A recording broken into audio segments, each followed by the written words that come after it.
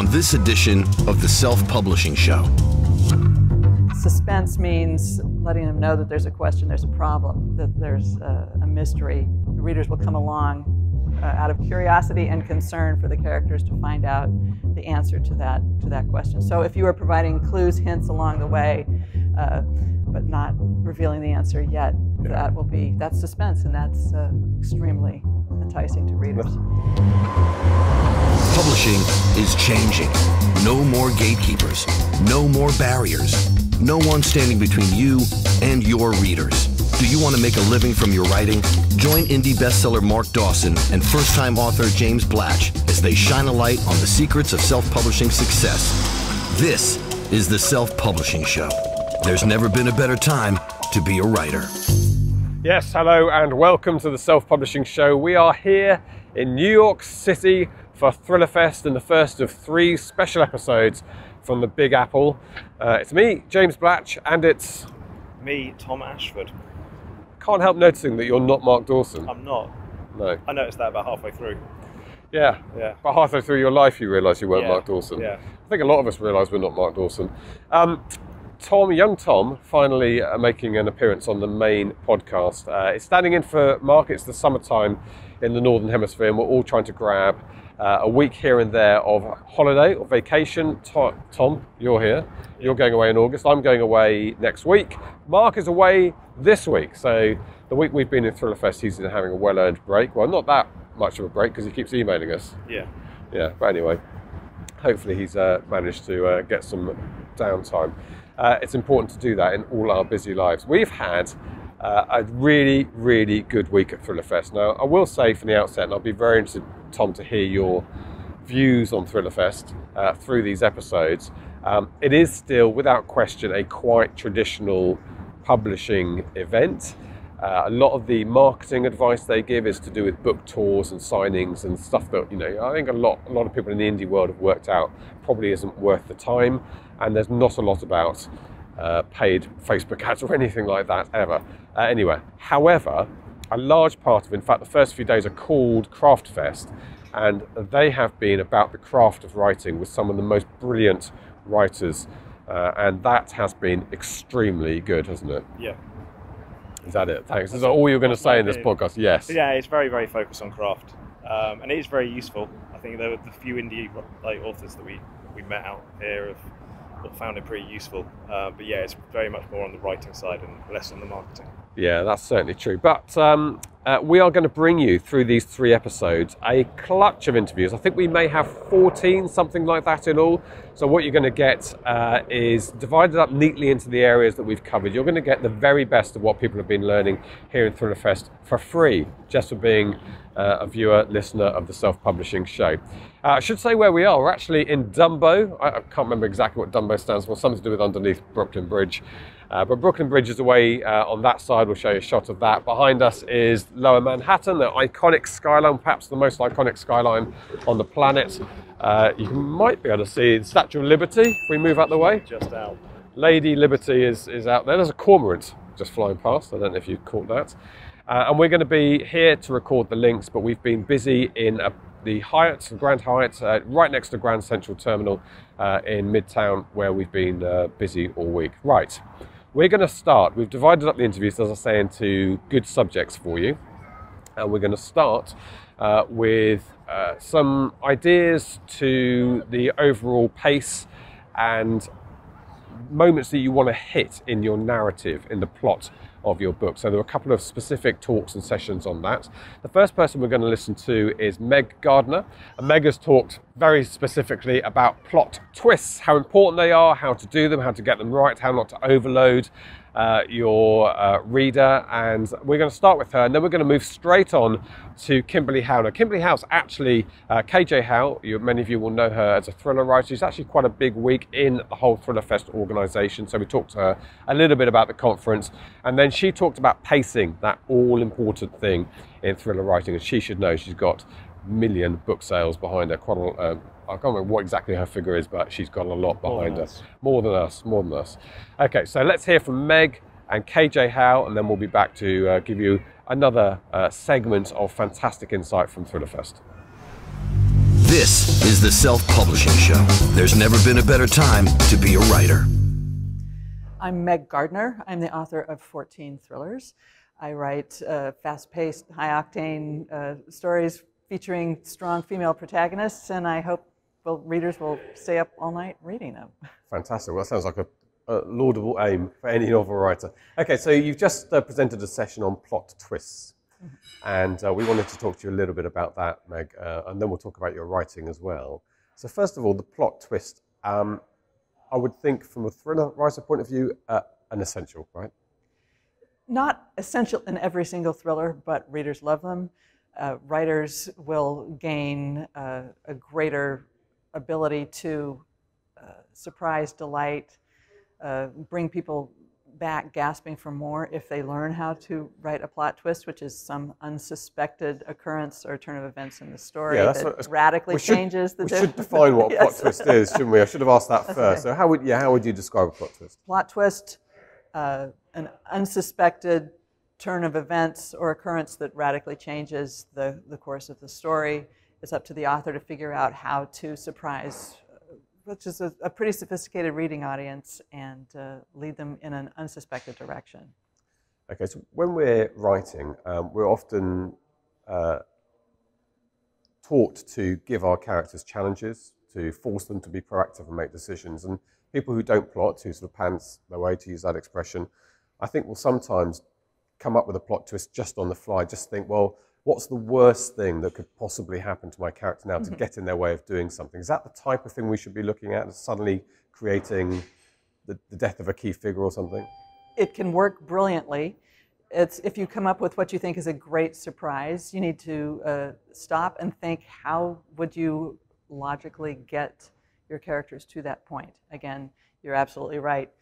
Put your characters to the test the plot doesn't really develop unless uh, a character is challenged, forced to make choices, uh, unless there's conflict. So we don't want things just to happen, to especially to the protagonist. That is the death of a story. You have to have a character who takes control at some point, rises to the challenge, picks up the baton, runs with it, and makes a difference in the story. If your protagonist doesn't do that, if everybody else is doing that, then you haven't written the protagonist. You've written the, you know, the dude who's sitting at the cafe, yeah. you know, having a cup of tea, who needs to, who needs to go back and do that and have somebody else come in and be your protagonist. Plot twists, random, you know, like yet another asteroid hitting the the ballpark, uh, probably not what you want. You want them to arise out of character, out of the circumstances, out of the conflict between uh, the characters. Uh, out of the culture of their world. So you need to think about it. If you come up with a brilliant idea, pin that to the wall and think about how you can write backwards and forwards to make sure that that really fits, that it, that it set, it's set up and that it uh, then launches from that point. Do you have some good examples of classic plot twists that we should think about? Classic plot twists. I will give you some plot twists that are so well known in popular culture that I'm not spoiling them, I hope. Okay. Uh, of the course. Titanic sinks when it hits the yeah. iceberg. We got that out of the way. Titanic is actually a perfect example how not every story needs a plot twist. Yeah.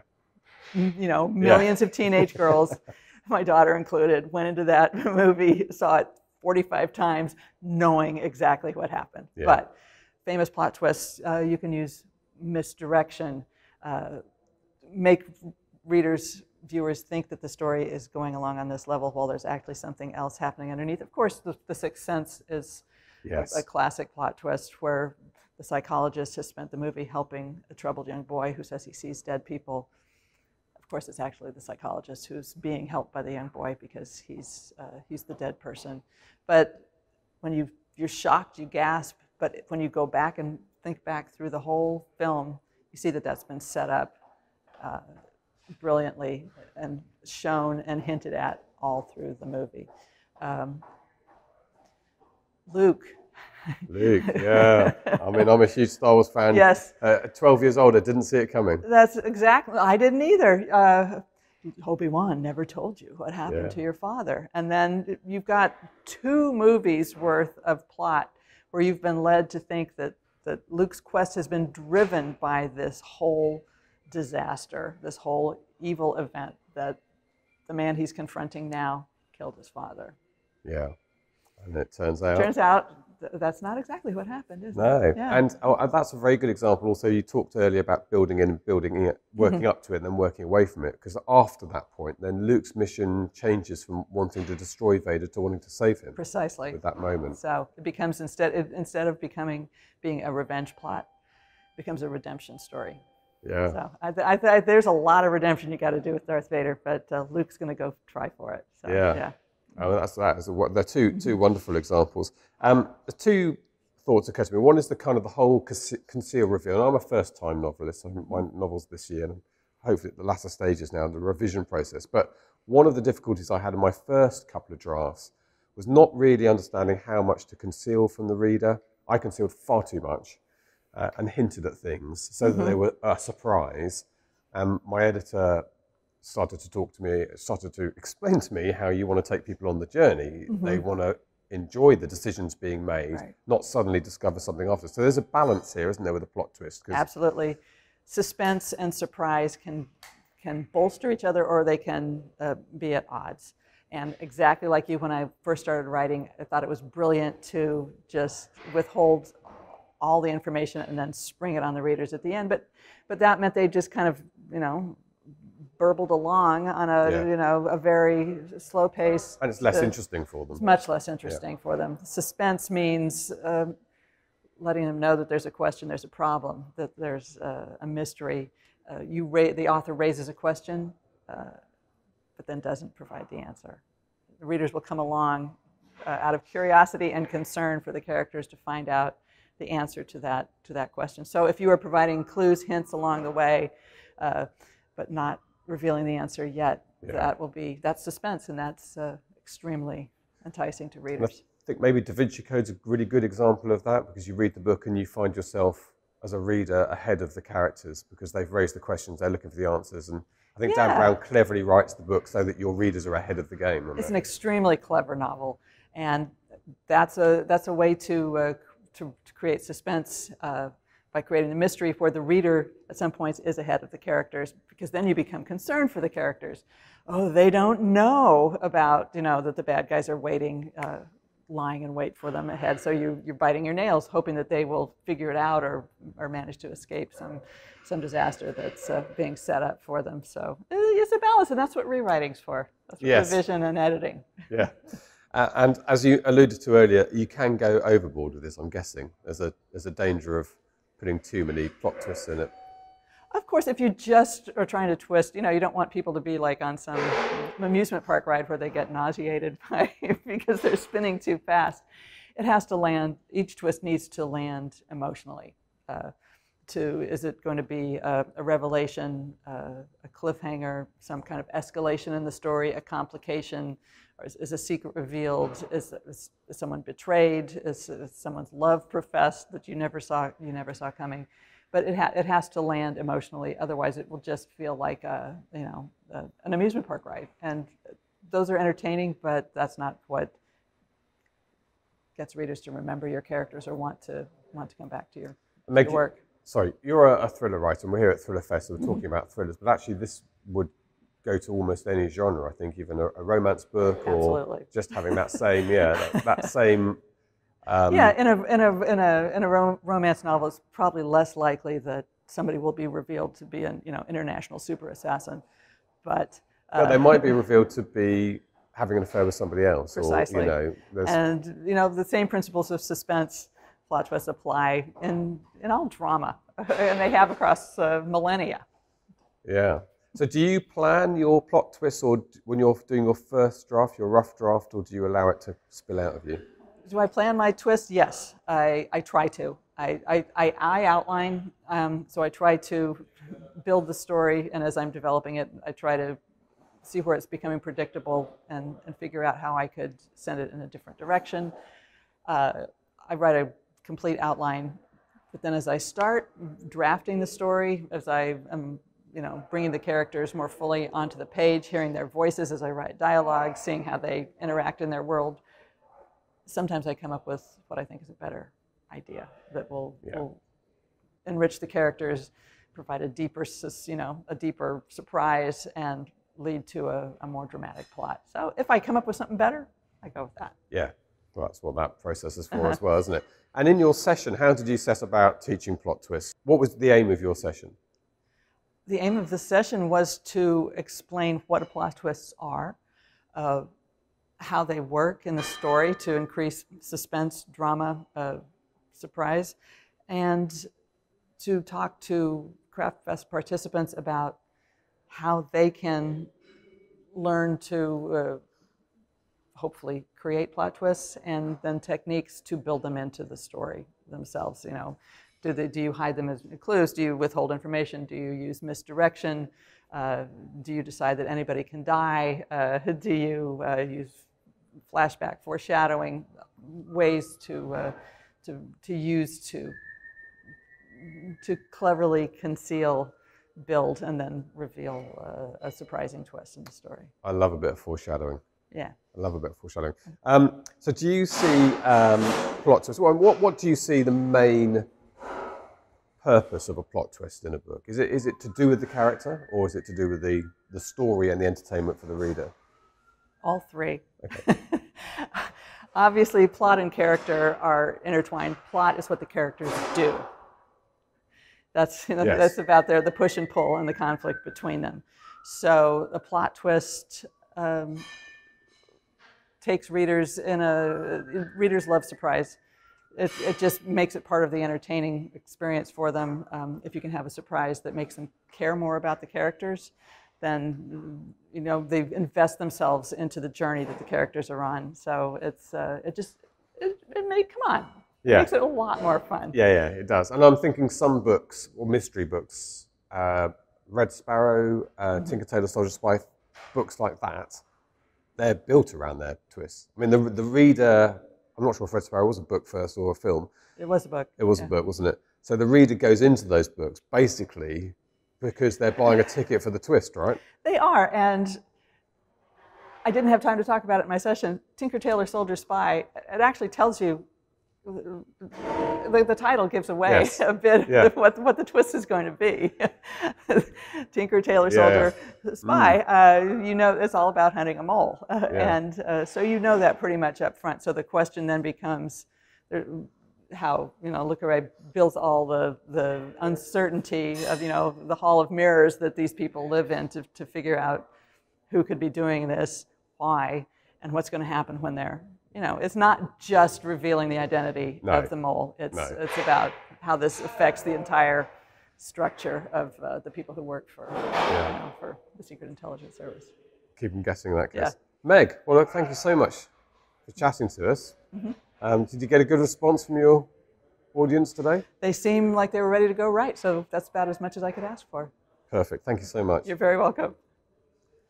Kimberley, here we are back in Thriller Fest, and I have to say you are looking remarkably calm, considering this is like the top of the mountain now, isn't it? A lot of work must have taken place between the end of last year and today. Well, I mean, we work all year long and try very hard to prepare ahead of time so that on site it's really just execution. And I'm very lucky to have a phenomenal team. And we have about 15 staff and over 200 volunteers who help run the conference. And it's sort of also like, um, as a conference coordinator, you need to be a duck, very, very calm on the surface and paddling a lot underneath. Furiously moving underneath. Exactly. Um, but it's a fantastic event. It's uh, a place where we, I think we just mentioned it. I particularly enjoy just rubbing shoulders with some of the great stars and the people who have got fantastic bestsellers after bestseller Mm-hmm. to their names, film adaptations, TV adaptations, and you're talking to them and you suddenly realise when you're talking to them, they're just humans who talk about hard work, characters that are compelling, and a reason to turn the page. There's no magic or secret about it, which is quite inspiring. Well, I think most people are not overnight successes. To be successful in publishing, you generally have to study the craft for a long time and then put in the time to build an audience. So, someone like Lee Child, I mean, I believe he said he, it was like between book eight and 10 where he started to see enormous success. And CJ Box um, found he was a New York Times bestseller on his 11th book. So, I think when you see that, you know, you realize that it does take time. With social media these days, sometimes there can be overnight successes, like Gone Girl, you know, but, but actually, if you think about it, um, Gillian Flynn wrote Sharp Objects before that. So it wasn't really an overnight success. It was just her most successful book, and it blew up, and her career has really continued to flourish. Why do you get involved in Thriller Fest? What brought you into the mm-hmm. organizational side of it? Well, I came to the very first Thriller Fest in Phoenix, Arizona, and I volunteered. And my goal was to write thrillers. I was a former medical writer, and for me, it was an opportunity to learn the craft because journalistic style writing that you use in medical work is very, very different than the dramatic showing that you need to do with thrillers. So as a result, I just really wanted to study the craft, and I knew that, that Thriller Fest had an incredible education program, and that's what drew me in. And then uh, before I knew it, I started volunteering, and guess what? Now I'm lucky to be executive director.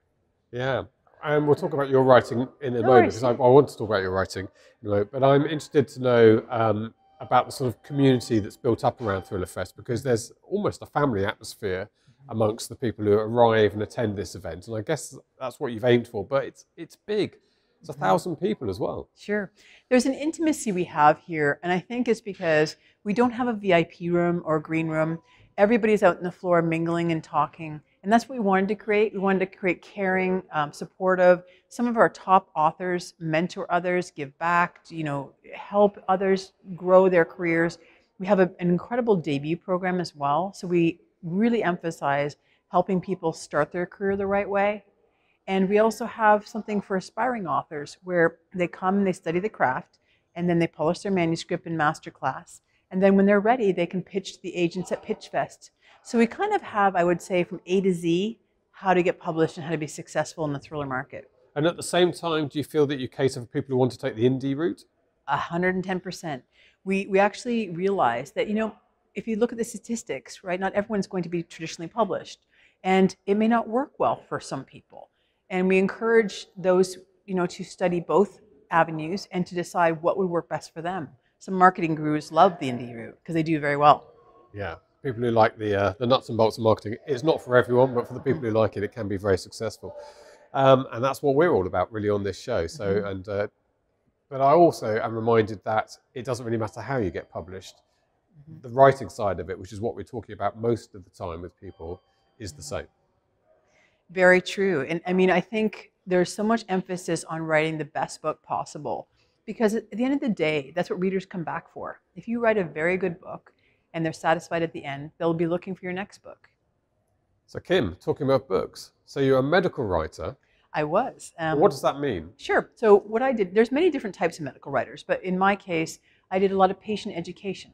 So I would take complex medical issues, you know, like about how to handle diabetes or heart or blood pressure, anything like that, and make it very accessible for people to read about. So I would do, you know, uh, you know, you go to the drugstores and you get brochures. I would do some of those. I would do calendars.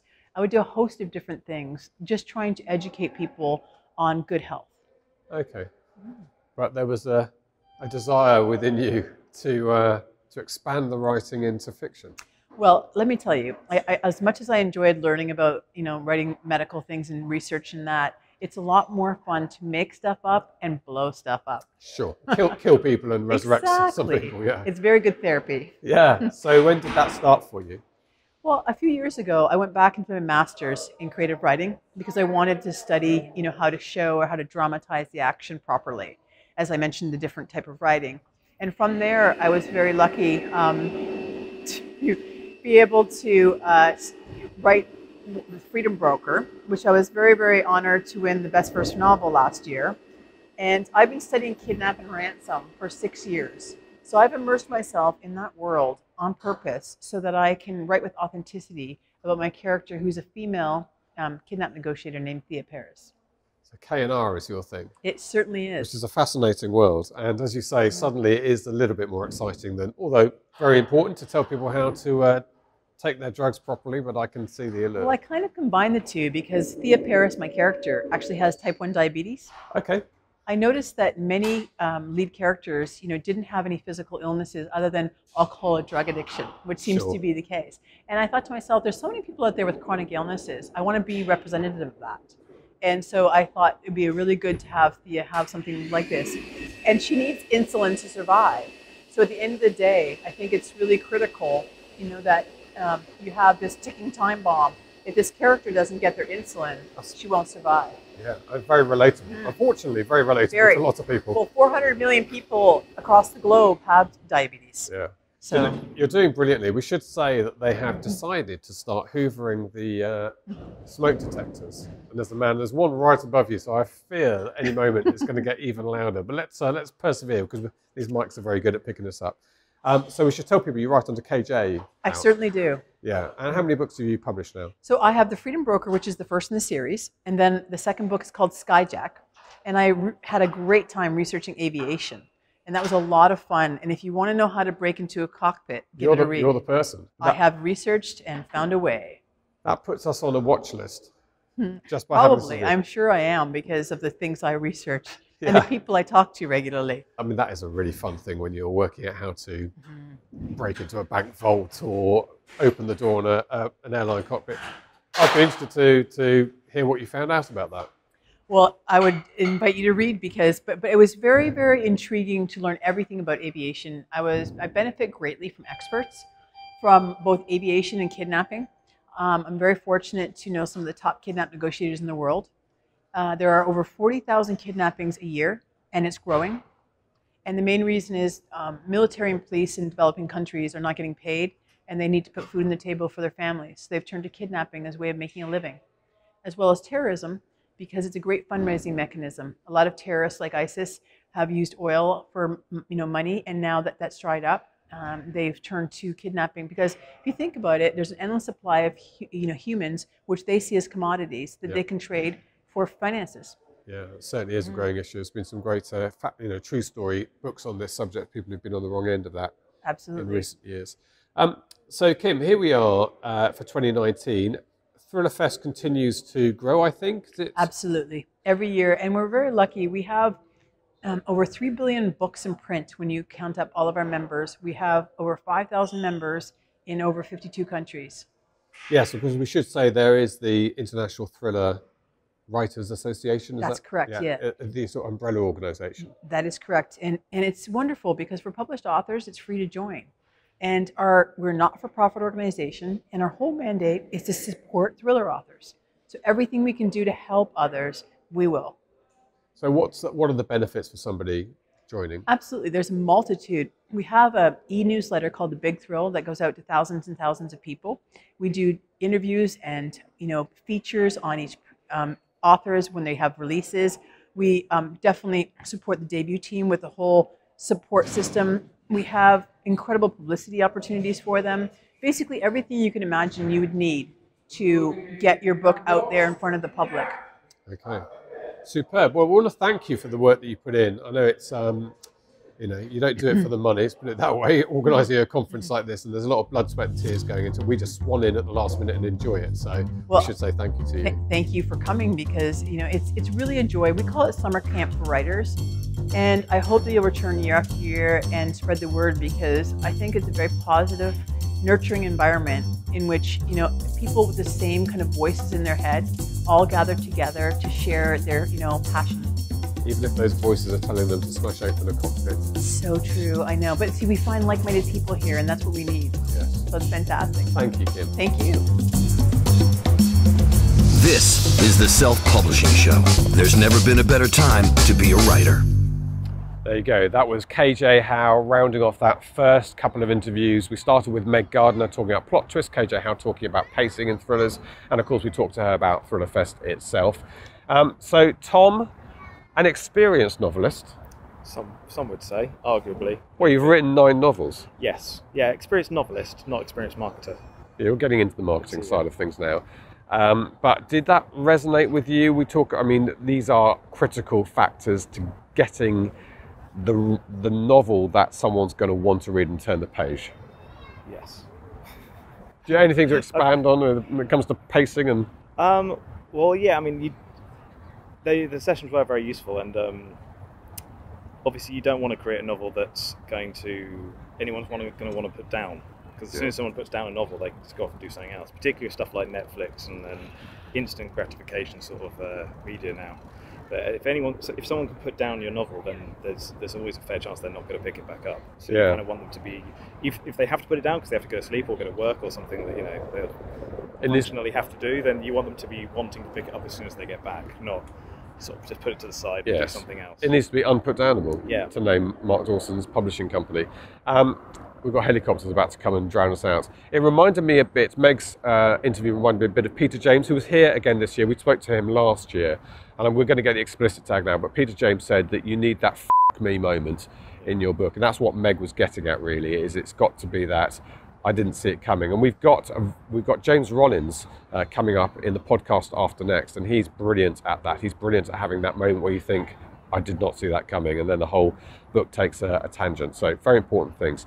Okay, now the next couple of interviews are all about psychology. So this is about layering your characters. It's about getting uh, not just that one-dimensional villain or something we talk about a lot, or, or hero, where do you get those complexities from? Where do you get those flaws from? And how these are two people who talked about how to uh, derive from real life the sort of things that are going to make your characters become realistic and compelling for your reader. And we're going to start with David Corbett. I love this interview. David thinks a lot about these moral. You know, it, it, when you're in school and you talk about these ethical dilemmas about the train going down the track, it's going to kill one child playing on the track or everybody on board, and it's your choice who you save, and so on. Um, but he's really taken that on a little bit to play with those ideas and then suggested that that's what we do to our character, mainly to our hero, our protagonist. We put them in these almost impossible to solve moral dilemmas. Uh, so let's uh, let's talk to him first, and then we'll be back, back for our last interview for this episode. This is the Self Publishing Show. There's never been a better time to be a writer. I'm David Corbett. I'm the author of six novels. The last was the long lost love letters of Doc Holliday. I've written one book on craft, The Art of Character. There's going to be a follow up this October called The Compass of Character on complex motivation for long format TV and uh, novels. And uh, I was a private investigator for 15 years before I started writing my novels. I worked on the Michael Jackson case, the People's Temple trial, the DeLorean case, and a whole slew of cases related to a group of guys out of Coronado, which is near San Diego. It was called the Coronado Company. They were the major marijuana smugglers on the West Coast through the late 70s and, uh, and 80s. Basically, Navy brats and Vietnam vets who brought in 50 ton loads at a time onto the West Coast and distributed it. Wow. So you've been there all the cultural touch points of my life. You were in the background of the Michael Jackson trial and the DeLorean. I, I remember DeLorean happening. Yeah. Wow. You weren't part of the bust, were you, to get in with the, uh, the Well, setup? the, the firm I worked with had worked on a previous case with the same DEA agents and same informant.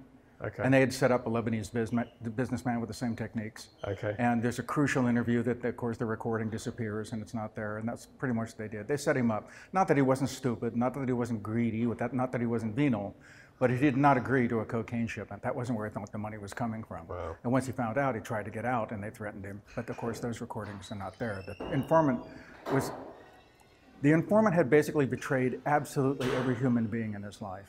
Even his brother, you know, would no longer speak to him. So it was pretty, that was pretty fascinating. And that was really the first major case I worked on when I got uh, into the, the firm. Now, I'm guessing that these um, experiences have led to your thought and your work in terms of novelization and particularly characters. So this morning you had a session where you spoke about ethical dilemmas, I think. Moral dilemmas. Moral and, dilemmas, And how to create moral dilemmas, you know, in the story that force the character to choose between two totally terrible, you know, unacceptable alternatives. Oh, you like both both options to be Both options are bad. I mean, if there's a good option, you know, the choice Yeah. is easy. You know, Oh, it's like, yeah, okay, yeah. I've got to choose between two evils. And what do you rely on? Is it a code of conduct that you grew up with and that you rely on and you, you're a, a stickler for the rules? Or do you think in, in terms of consequences, you know, well, which one will have the, the worst consequences and for how many people? Uh, do you instead try to live up to an idea of what it means to be a good person and that's what guides you? Or is it, you know, the example of somebody else you knew? Or is it just sort of a mishmash of all of that and that you've never had to make a really bad decision before and now you have to and you just don't know? And you just have to go fly by the seat of your pants. So, what's the advantage if, for, for those of us writing books, what is the advantage of giving your character an almost impossible set of choices? It identifies them. it makes them you know, recognize who they really are when they have to make that difficult choice and they have to stand by it and face the consequences. It's totally life defining. And uh, the decision will haunt them or reward them for the rest of their lives. So it is, well, we always talk about having layered characters and not, not straightforward. And in fact, we've just spoken uh, to James really about flawed person who's never really sure is a much better hero or villain than the one who's sure of themselves. This Oh, yeah. kind of draws that out because nobody can be certain about these decisions. You're No, no, no. And, and, and especially once you realize that you can't realistically foresee the consequences of anything. You never know how it's really going to turn out. And if you really shorten the time and make it even more dramatic, so that the person only has, you know, a few moments at best to have to come to a decision, then they have to live with the fact that if I'd been given more time, maybe I could have had, you know, made a better choice, but I didn't have that. And I have to accept that. And I have to realize that whatever my gut instinct was, wherever it came from, that decided the moment, and that now defines me for the rest of my life. How am I going to live with that? Because there's repercussions. Oh yeah, Whichever. but you can't see them, and you never know that. You know, I mean, I mean, you can you can guess, but you know, it, it's really difficult down the road to realize. Like, I'm I'm sure that all the guys who were thinking that going into Iraq was going to be real easy and a cakewalk, and we were going to, you know, declare victory and walk home. Well, guess what? Yeah. You know, and it's just that consequences almost always are far more complex, far more unfathomable than you can predict. And yet, we have to make these kind of decisions every time. And, And the more you can put your protagonist in a position where they have to make that, the more dramatic and compelling they are. Because we can all imagine ourselves in those situations, and we, we'd like to avoid them, but we can't. When we see the protagonist having to do that, it's usually a transformative moment for him and within the story. And it kicks the story into completely different gear. So we- we that's what we sort of covered. Think about George W. Bush as president and Tony Blair Yeah. This day, uh, you know, where they are today at some point during the day, ruminating on that decision that they made. And I'm not going to be cynical about it. I think they had very difficult choices in front of them. It was easy to hold a placard up and say no or yes. Yeah. But the truth is, they had to make a call. What's interesting is for us as novelists, exploring that effect on them later. Mm-hmm. That effect on them and, and whether they will, they'll address it or not, honestly. I mean, that also addresses them. I mean, it's very easy. The, the problem with huge events like that for public affairs, um, the realist school is basically designed around the premise that matters of state rise above matters of individual morality. Uh, that the concerns of the state are so broad and concern so many people that worrying about individual moral concerns can actually impede the best decision. I mean, this goes back to Machiavelli, but you know, you get it uh, very much in the realist school, which has very much informed, I'd say, U.S. and, and UK policymaking since World War II.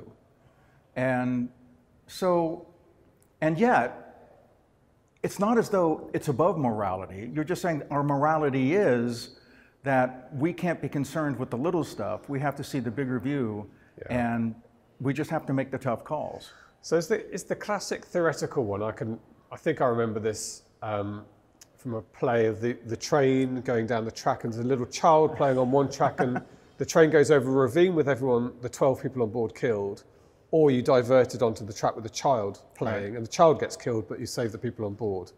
It's your call. Right.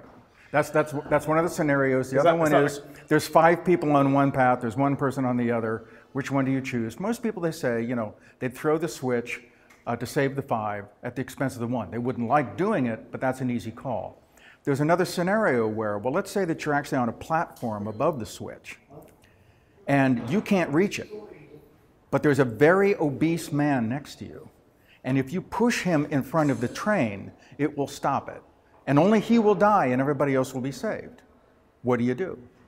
And people recoil from the whole idea of being physically involved Yeah. and having to do something that would harm another person. It's not that one against many calculus. It's a really that's a really that's a really classic moral conundrum that comes up all the time. And I'll tell you, every time I've ever talked to a cop about it, she goes, "Are you kidding? Heave the fat man." Yeah, every, time, every day of the week. it's just not a you know I wouldn't hesitate for a second. So that's kind of you know. And I suppose most of the characters who get written in thrillers probably would. I mean, James Bond would instantly see, because he's almost amoral, isn't he? He would push the fat guy, I think. Probably. Well, I got to tell you, I've got a whole new view of James Bond ever since um, the audiobooks of all the novels came out Of this the past original couple of novels. years. And they're uh, by you know uh, Bill Nighy and a whole bunch of other wonderful British actors and actresses. And so I've rediscovered the books because we do a lot of. We, my wife's family was on one coast and we were on the other, so we were doing these five-day drives. So we, audiobooks were how we made it through. And we listened to a bunch of those, and the books are far more nuanced, and he's far more interesting a character than comes across in the films at all. He's, he's nowhere near the just sort of callow, devil may care. You know, he's actually very thoughtful about things, and um, and far more caring toward women than we see him in the films. That's, I found that really interesting. Though he's still a bit of a 50s cad, but Yeah. nowhere near as bad as he was No. in the films. So, so to make it more practical, then, in terms of, of our thriller writing, it's a good device for your character to find, to, to engineer some almost. You almost don't want to do it, though, do you? When you're writing, you, you I find it quite a pull to create a really horrible situation for my character. No, well, no, and, that, and, I, and I I brought that up in the class. We naturally resist, you know, ourselves wanting to put ourselves in that position. But you know, we have to write those scenes. Um, uh, Steven James talks about, you know, whatever the problem is, make it worse. And you, we just got to tune ourselves physically to, and, and psychologically to be willing to go into the situation, just go, okay, what's the worst thing that could happen? All right, then, I've got to write that and I've got to deal with however I feel about it and whatever happens, you know, I just got to get in there. Because we do sort of, we have a tendency to naturally pull back just because of the, the uncertainty and the ugly feelings we, we go through when we're having to face that. But that's what makes stuff interesting. And people are, the reader will ultimately enjoy this because it's a bit like being on a roller coaster or watching a horror film. It's not you. It's Yeah, exactly. And uh, I mean, one of the, the classic examples I brought from a, from a mystery book was uh, Charles Todd's uh, series, where the, uh, the main protagonist, Rutledge, was a captain in World War I in the infantry. And he had a corporal, uh, Shamish, uh, Hamish, who refused to send his men over the top in direct defiance of an order from, you know, from the high brass. He just said, we're going to get slaughtered. I'm not going to do that to my men. I'll refuse. And so for, he was, uh, Rutledge was in a position where he had to have him convicted of, of insubordination and executed. I mean, one, that's the rule. You know, that's, that's military code of conduct. But two, consequences. He knew that if, if you allow that to happen, I mean, nobody's going to go over the top. Nobody's going to, you know, uh, risk going into harm's way because everybody hates the brass. I mean, there's, it's, it's going to be chaos unless you enforce this in this way. So he's justified it on both the consequentialist and the rule-based grounds. The problem is the consequences are something he finds himself over time not being able to live with because he had a great deal of respect for this man. And he ends up haunting him, and he ends up sort of being the spectral sidekick through the course of the series to just remind Rutledge, you know, you're not the moral man you pretend to be. And maybe you should have more compassion for the people you're investigating. And it really adds a really interesting psychological and moral complexity to the series that I think is really kind of fascinating. the unintended consequences of making the right decision. Yeah. Yeah, interesting. Do you think about this philosophi- philosophically as well? Is it a good exercise for us to go through as, as humans to oh, put ourselves in that position? Oh, Well, I just, some of the examples I brought up were, you know, the, the rubber meets the road here when you actually see in real life experience. And the examples I gave her, you know, you're told not to lie. But then let's say you're in a, a situation, well, you're in an accident with your brother, and your brother and your big brother just says, look, don't tell the parents. You know, just just don't tell them we got sideswiped. It was got it got hit in the parking lot. You know, just don't do this to me. I mean, it, it'll kill me if they think I, you know, that I actually did this. And so, little brother, you stand by him. Um, he doesn't get in trouble. And from that point on, he's really nice to you. And what you learn is, okay, you know, every now and then it's okay to lie. You know, it's situational. And another one I used, this happened a lot in the, uh, the, the town I live in, it was a Navy base. And guys were walking off the Navy base. And these, these were all like blue collar guys, who were the carpenters, tool guys, plumbers, so on and so forth. And they would just load up their pickup trucks, put a tarp over it, and drive it. And there are so many houses in my hometown that were renovated with stuff from the Navy base. And I mean, you see it. I, I hear it from building inspectors just going, oh, yeah. I mean, it's like half of the stuff that we had is in somebody's house, you know, in, in, in this community. And of course, the way they justify it was, you know, the Navy was wasteful, obscenely wasteful. So what I'm doing is dropping the bucket. And two, I'm really underpaid, and this is my bonus. yeah. And so there's always this situational justification. And if you can put something like that in the character's past, where they sort of learn that, oh no, it's okay to bend the rules if you do it like Uncle John, or if you do it like my brother, there's a personal connection that seems to justify it. Well, what happens if that thing comes up again and that relative isn't there? Are you going to do the same thing? Or are you going to do something different this time? Again, it's life defining. It defines you and your conscience in the moment in, that, in the story. Excellent. Well, David, it's fascinating, really genuinely fascinating. Nice to, well, great. Thank you so much for, for doing this. This is great. I'm really glad that you're here because there are some wonderful teachers in this program. Yeah. I was really, really impressed with who they got this year. I just thought it was a great crew. We're, uh, and we're, we're talking to the best of them now. well, Thank you, thank you for saying that. This is the Self Publishing Show. There's never been a better time to be a writer. Yeah, that was David Corbett, and we've got one more interview for you in this first of three episodes from New York. And this is Dennis Palumbo. He has a great background, and he is going to talk to us in our interview about the psychology of your uh, heroes, villains. Uh, he thinks a lot about trauma. He thinks we live in the age of trauma.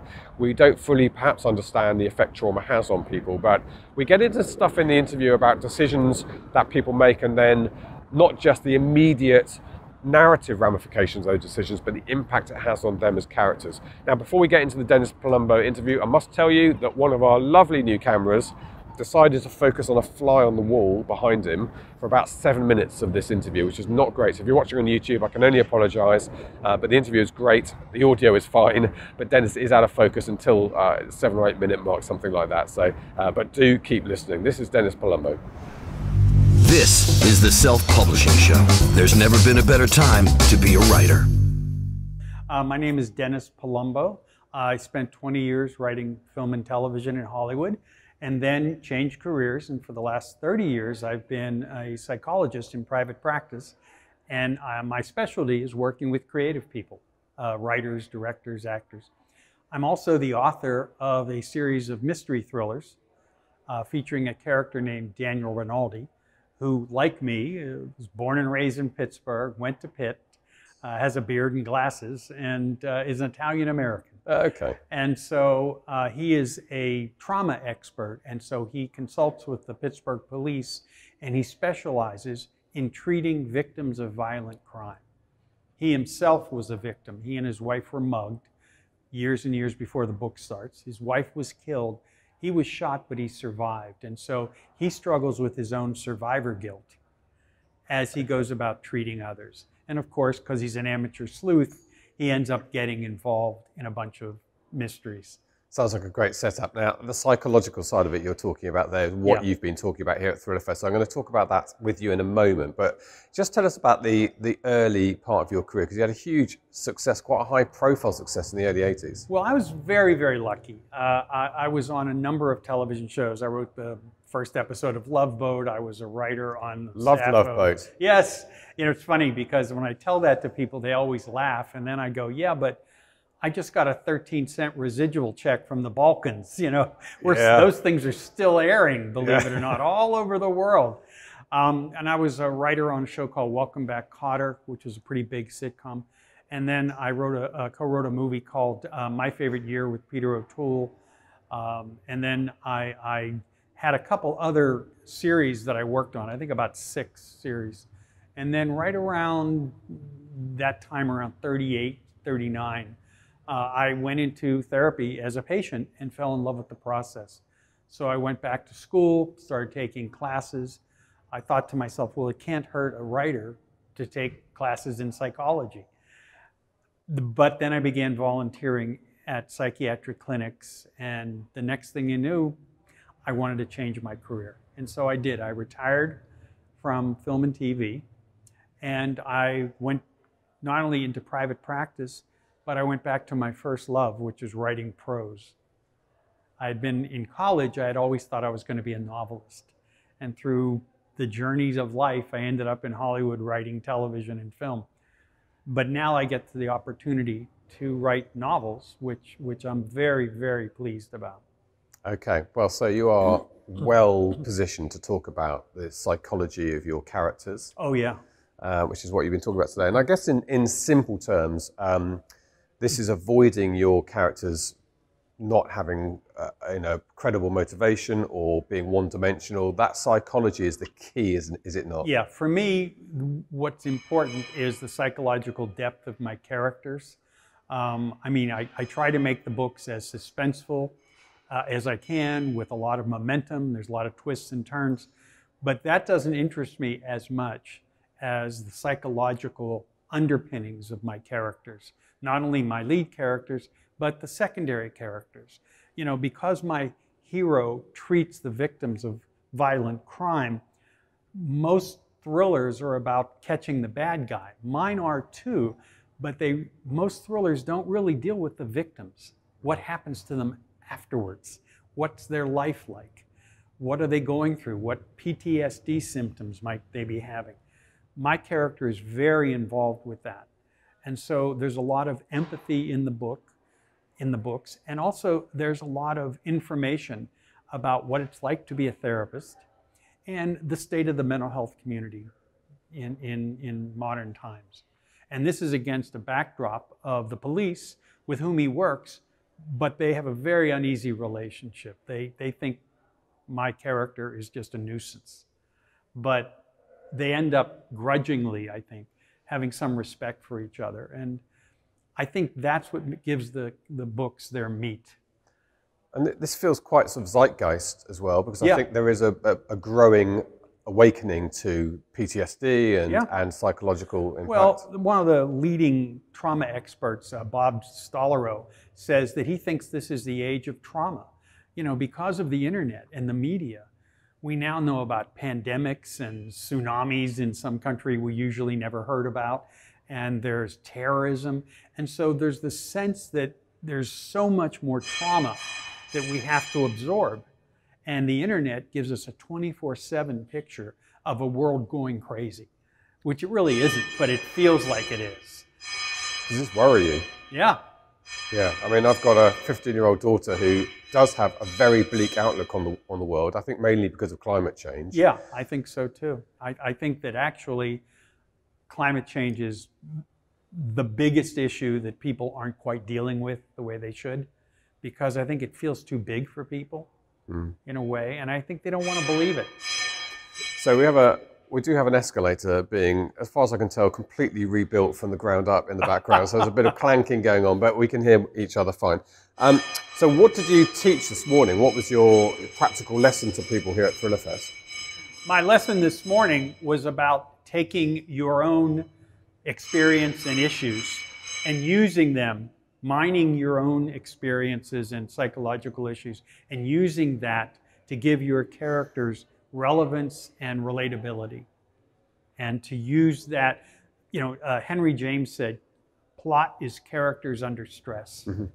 And so what I tried to do is help people. I did some exercises in the class and then some lecture to get them to see that what goes on inside of them will infuse their writing with a lot more relatability. And do we all have that in us, even if we haven't been to war or been in an accident Absolutely. or? I think we have everything in us. As writers, I think we have, you could be a nun or a serial killer. You know, we all have everything. We have all the emotions, you know, anger and yearning and hurt and love and lust and envy. And all, you know, the, the, the way I always put it is you could like not like your brother-in-law, but if you write crime fiction, you get to run them over in a car. Yeah. You know what I Yeah. mean? So you can take the things in your life and just criminalize them. So it's those little moments when it's the sort of falling down Yeah. thing, the little moments when we imagine suddenly just shooting everybody who's annoying us or Yeah. punching the well, slow like I always say to my wife, I don't want to hurt anyone, but there's certain people whose obituaries I wouldn't mind reading. Yeah. So it's getting in touch with that and putting that into the book And and, putting that and in the book. exaggerating it. Yeah. Yeah. And exaggerating it and making sure that whatever those excuse me issues are, the plot mechanisms keep stressing those pers- that person. That's where Yeah. the stakes come from, you know. So if you're let's say jealous because your brother invented some internet sensation and he's rich, you want to keep stressing your character by saying, "Oh, now he's building another thing. He's on the cover of Time magazine. He's so famous, you're now known just as his brother." Yeah. And then that builds your resentment. And so we understand why you might do something either to the brother or just out in the world to get your own renown.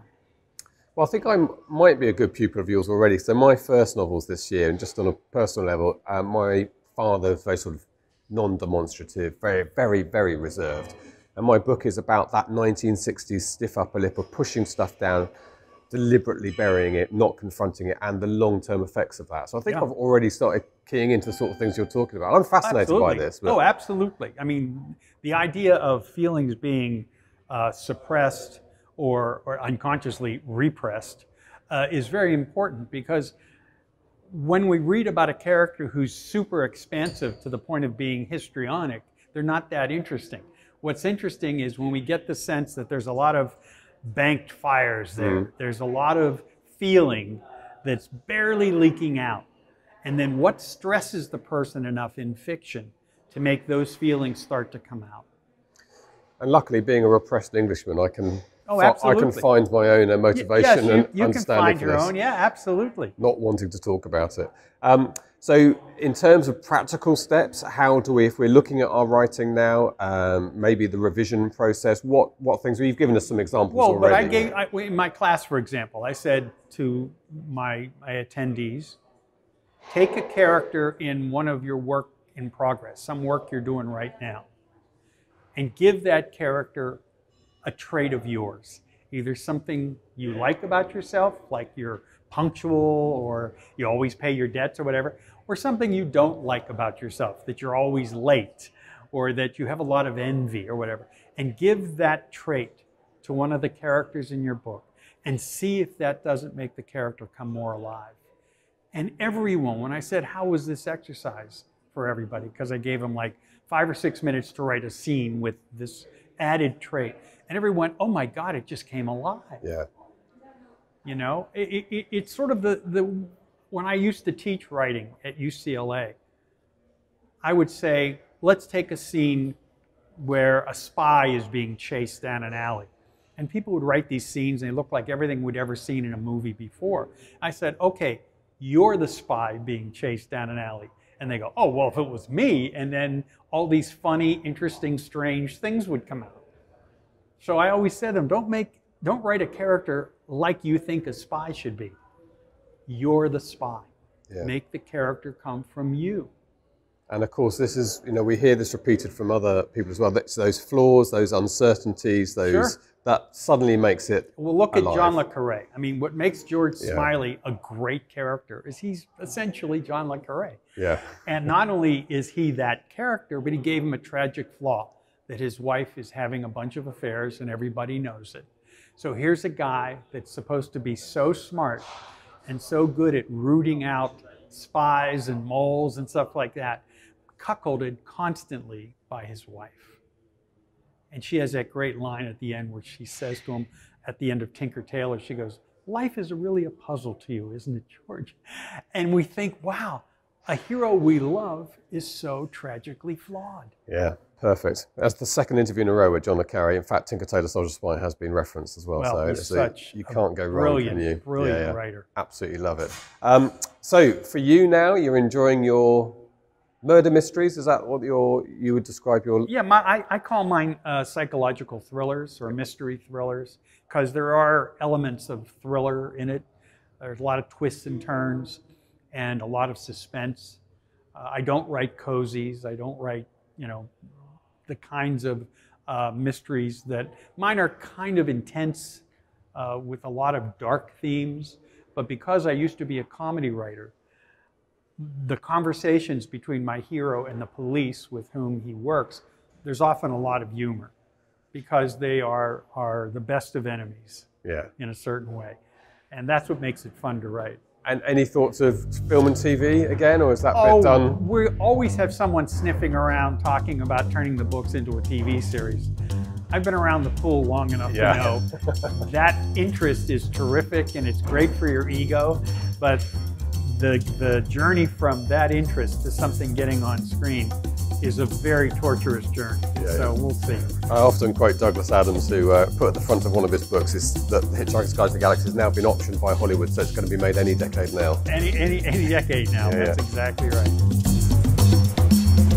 This is the Self Publishing Show. There's never been a better time to be a writer. There you go, Tom. Difficult not to think of Columbo when you introduce Dennis Palumbo. Yep. And Columbo, I, f- I feel, was a man who understood the psychology of people. You reckon? You ever watched a Columbo episode? No. Oh my, he's never watched a Columbo episode, John. John's behind the camera operating things. So, well, um, Columbo was a brilliant detective. Here, I I guess it was in New York. Was he in New York, Columbo? I got that wrong. Maybe he was somewhere else. No, He wasn't in New York. no, I think He was somewhere else. West Coast. He was in the West Coast, okay. But he would say, he would go in and he'd ask a couple of things. But what he'd spot was a few things going on in the room, the way the person acted, and just before he left, his famous thing was just, just one more thing. And then he'd ask that key question that unlocked the case. So this psychology, and I really like Dennis's uh, way that he was talking about like these effects, and we talked about Tony Blair and George W. Bush as an example. So we all remember the decision they made about going to war in 2003, very controversial decision. Lots of people opposed it, some people backed it. But what's interesting is is the effect it had on them as individuals, and to this day, and that's what's going to make your novel work. It's referring back to that thinking. This is not just an event that's happened for the story, but every sentence you write about that character from then on is informed by the decisions they make. Yeah, 100%. I mean, I sat in both David and Dennis's uh, sort of speeches or conference talks, and um, yeah, they kind of they both stood out because uh, rather than just talking about how to approach like the craft or something, they're much more about how to think about decisions that will impact your character and, and therefore inform your character. So rather than just going, oh, my character's really strong because of this, or my character's got this weakness because of this, putting them in situations or, or giving them uh, like traumas or psychological things that will literally like influence the way they behave through the story uh, and definitely fleshing it out more than just you know necessarily using your own And do, you- do you know what the great thing about getting this bit right is it actually helps you write the novel. Yeah, when you start to think about, oh, how would I, you know, how would I feel? And Dennis said, how would you feel about that? If you were faced with this decision one day at a railway station and you, you come home, how would that evening be for you? How would it be a month later? And that allows you to, you know, c- that gives you the ideas, the, the content of your writing. yeah. Yeah. Good. Well, welcome to the podcast. The first one down. We've got a couple more to go uh, here in Dumbo in New York. We've got two fantastic episodes. I mentioned James Rollins. We have a couple of superstars uh, to interview coming up in the next couple of episodes. Uh, and I should also say that although this is Thrillerfest, a lot of what we're talking about pertains to all writing, not just thrillers. So don't worry if you're a romance writer or another genre, you're going to pick up plenty of stuff from these uh, these episodes. Right, the ferry is in. That looks like it should be taking us for lunch over there. What do you think? Yeah. Yeah, yeah, he always says yes to lunch. Thank you so much indeed for joining us. The first of three episodes. We're back next week with some more good stuff from New York and Thrillerfest. Get show notes, the podcast archive, and free resources to boost your writing career at selfpublishingshow.com. Join our thriving Facebook group at selfpublishingshow.com forward slash Facebook. Support the show at patreon.com forward slash self publishing show. And join us next week for more help and inspiration so that you can make your mark as a successful indie author.